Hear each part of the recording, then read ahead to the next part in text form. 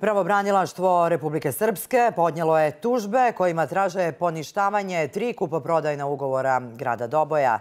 Gradonačelnik Obren Petrović, kako su utvrdili, nije poštovao proceduru pri prodaji prostora u Ćupriskoj i ulici Kneza Lazara.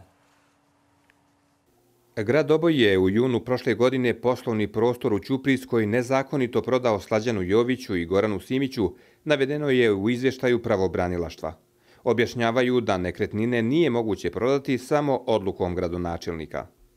A bez obavezno pribavljenog mišljenja pravobranilaštva Republike Srpske, kao i bez obavezne zakonske odluke Skupštine grada Doboja za prometovanje tih poslovnih prostora.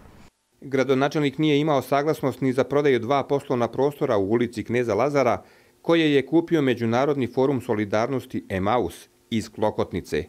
Na pitanje zašto su tako postupili i službe za odnose s javnošću grada Doboja ne odgovaraju.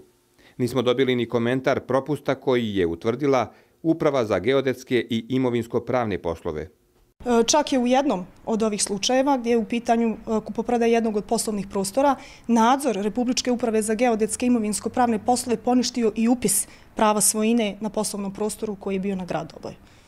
Podsjećamo da je kompanija Novosti ranije saopštila da su prostorije u Ćupriskoj njihove, da ih je grad uzurpirao i za 62.000 maraka prodao Goranu Simiću.